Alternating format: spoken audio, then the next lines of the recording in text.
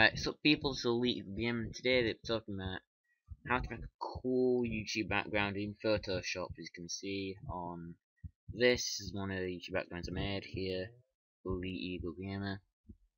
And in here there should be another one, except I'll pull one up. So, so make a it's my profile pic that I made. So today we're making some uh, image.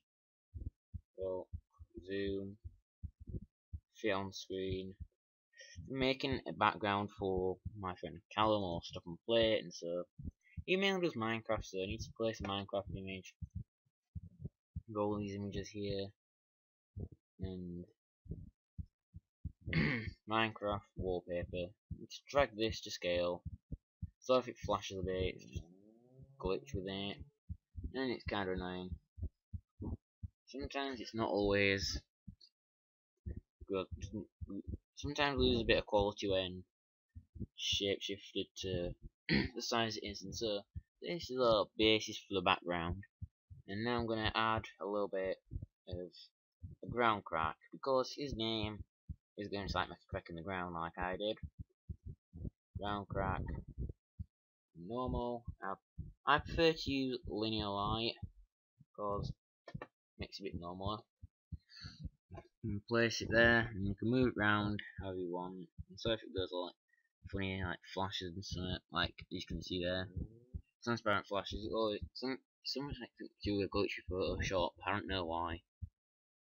So I've had to go up the so basically that's how it is.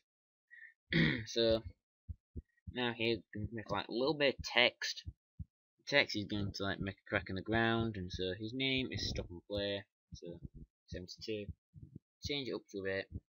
So let's say that one five one three four, and the one I'm using is yesterday's meal. It's a downloadable one, so you you guys can use that. So let me stop and play. So that's what his name is, and so I can just put it as that and it makes a crack but this time it's going to be 3D so this is 3D button new 3D extrusion. Right for the depth of field I prefer to use 0.75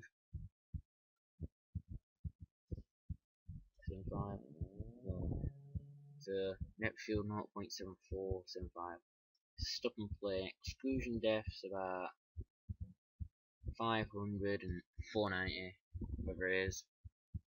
And basically that is it. What is not it yet so layers you can if you want to you can add a stroke. Makes it a little bit more defined.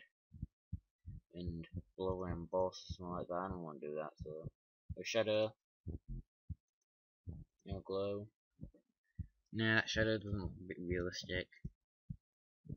So, I'm going to put it like that. Now I'm going to add a little bit of texture at the side. Make it a bit small, like 24 port. Designed by Old Eagle Gamer. So that's what I've done there.